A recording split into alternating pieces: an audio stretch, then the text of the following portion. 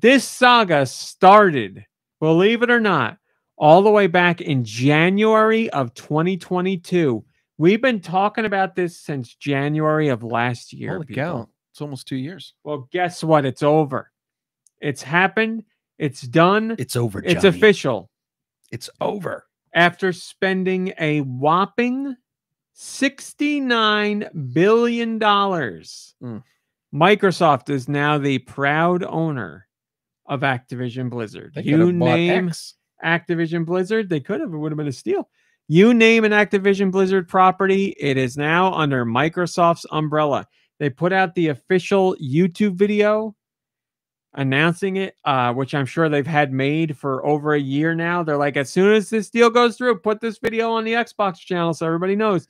So uh, they did it. They did the damn deal. They done the damn thing. If you can't make any good games yourself, buy them, baby. Buy them out. So uh yeah, Call of Duty, Spyro, Crash Bandicoot, whatever else Activision does. I don't know.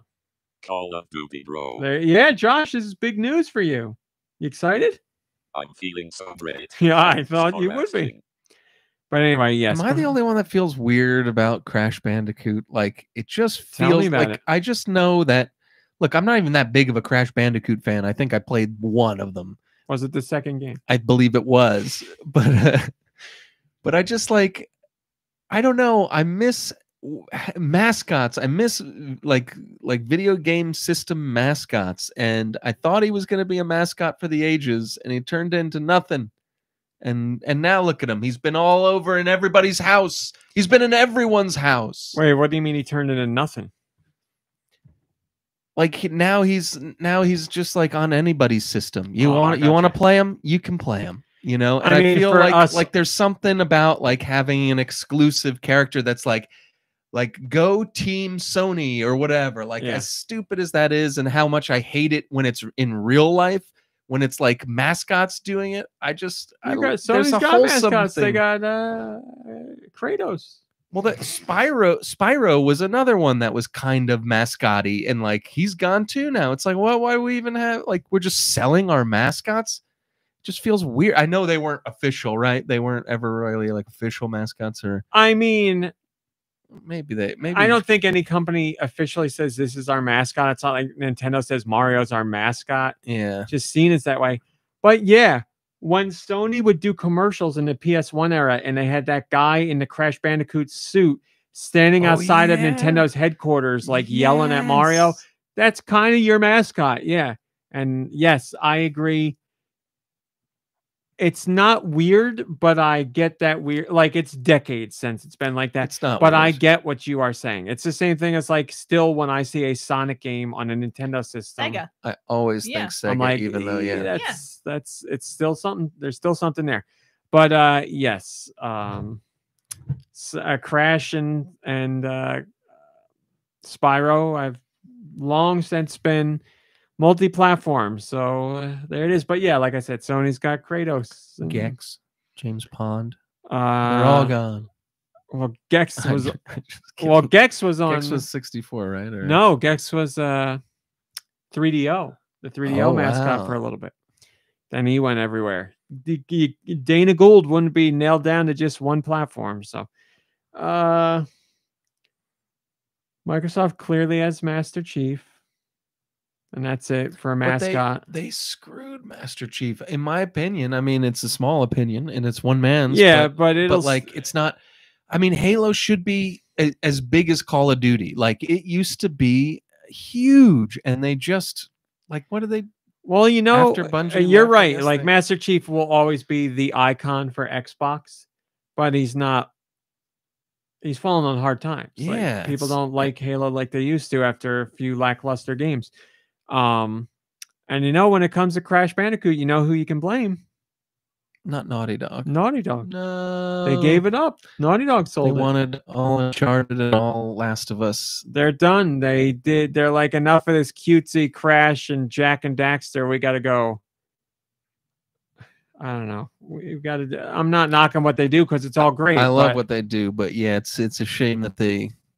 Well, it sounds like they're in some big trouble lately with their multiplayer game that they've been working on. It sounds like they put it on the shelf. So that's like I years and years and years of yeah. They've been doing the Last of Us multiplayer game for Oh yeah, that's... a long time now. But uh, rumor, latest rumor is they've shelved it indefinitely. I don't know, but they're putting it on ice for a while because they've Weird. been having trouble for a long time.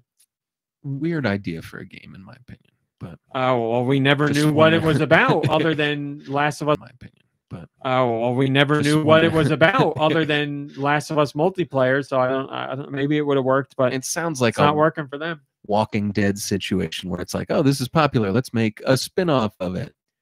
Um, it sounds like what Naughty Dog does with all their franchises. They do a certain amount of numbered entries, and then they're like, and now a multiplayer game, a party game, it's or a, a kart racing game, and they can't do that kind of stuff with The Last of Us. So it's a online multiplayer game.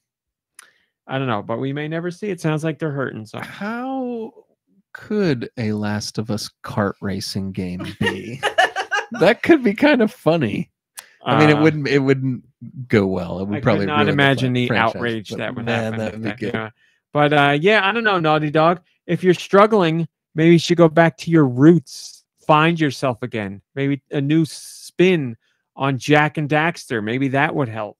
I know you're not going back to Crash, but Well, it's tough to it's tough to see all these and and you've loved all these characters and played them. You know, like I just love them as characters. I really haven't played a lot about Zelda and Mario and and like how they've stayed relevant for 40 years and like the ideas that go into it and the people that work on it and all the everything that goes into it and like their their focus is on on the game. It's not on mostly. It's not necessarily on like how much money we get, we can make if we poop out like a version of this it's kind of like we want this to be fun and we want it to be great on its own not necessarily because Yeah. it's the 10th one of a franchise um but it's it's sad to see like oh like and i again i love naughty dog and the games that i've played of theirs but it's kind of like oh uncharted and the last of us are huge we're going to focus on that we're going to kick the others out of the way Yeah. and like a lot of other companies are doing that like they you know and that i mean don't get me started on other things like assassin's creed they ran it into the ground. They changed the formula. They ran that into the ground, and then they were like, "Let's go to the beginning again." And it's like you already ran that into the ground. Yeah. Like this is supposed to be a game made by multicultural people of all over the. It's like then have them put their ideas in. Don't just put them in there and be like, "Oh, they're smart. They're Yeah. they're smart techies. They can make the game that we want exactly as it has been."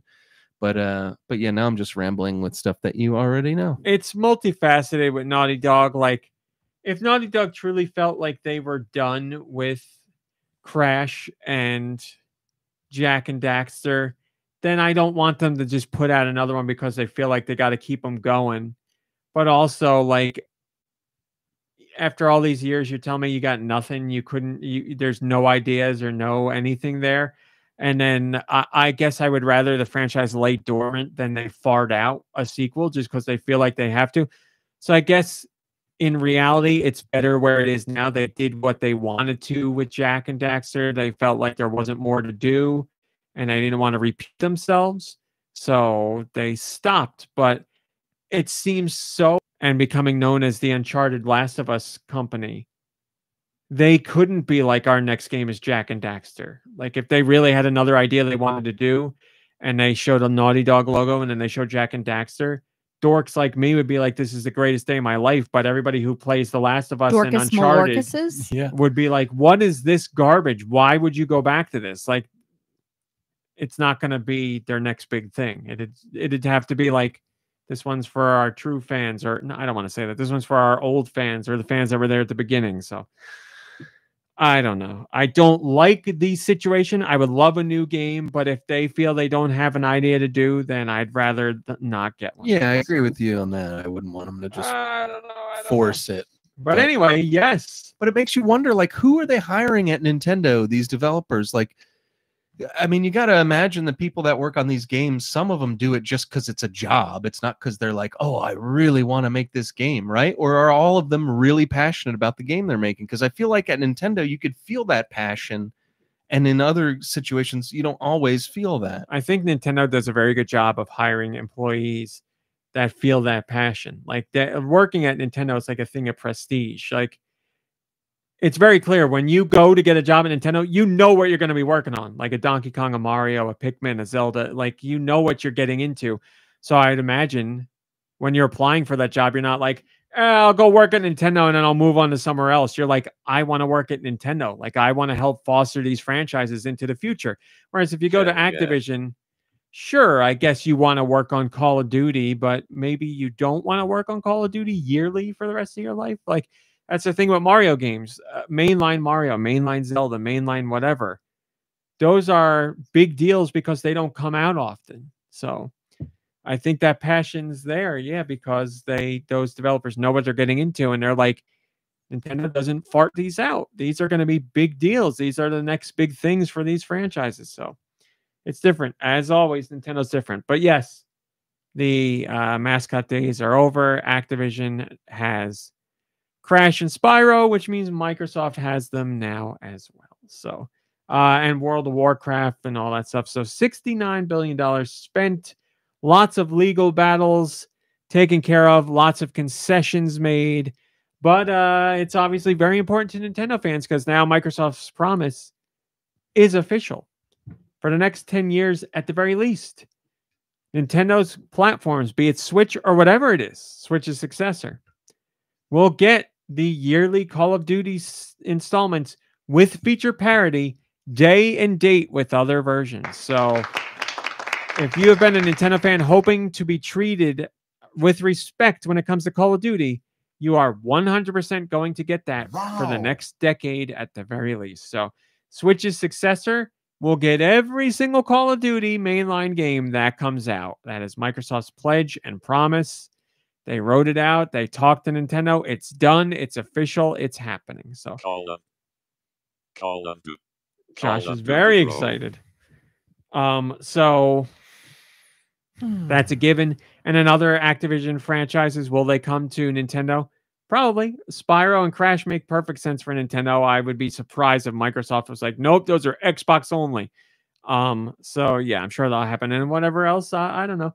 Uh, we'll see what happens. But it's it's Does this mean that Crash could be in like the next Halo game? it sure does. Cool. That would be the thing to turn the franchise around. I think you're right. But uh, and then make a platformer where you play as Master Chief. oh man. Uh, yeah, this means Microsoft can do whatever they want with Activision's franchises. They could put Master Chief in, In a Call of Duty? Spyro and put Spyro in Call of Duty, and yeah, they can do any. They can. uh Could be all kinds of inbreeding going on, whatever they want. Mm, So yeah, it took a very long time. People were very burnt out, but it has happened. It's a done deal. It's official, people. Done deal, pal.